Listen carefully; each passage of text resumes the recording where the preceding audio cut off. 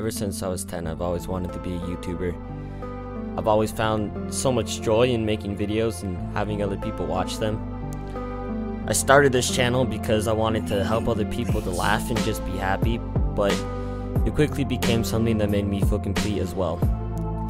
It's just crazy to me to see the community of friendship that we've all been able to be a part of and help to build. This channel and the work I've done on it is without a doubt one of my most prized possessions. I want to especially thank all of you who have stuck around with me since the beginning.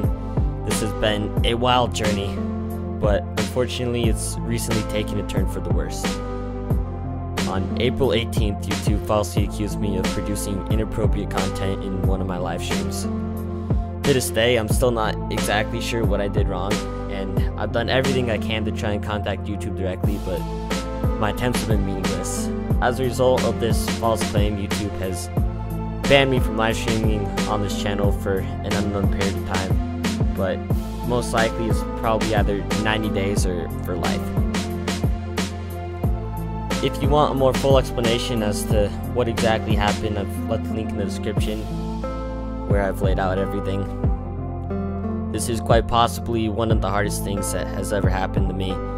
And you guys know that my passion is just streaming and having fun with all of you. And to get that taken from me without any explanation is just painful. I know though that despite this wall being tossed in my face that I can't give up. This has always been my dream and it always will be.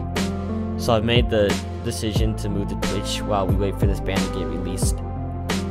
All my live streams and primary content will now be exclusively on Twitch while we wait for this band to get released here on YouTube.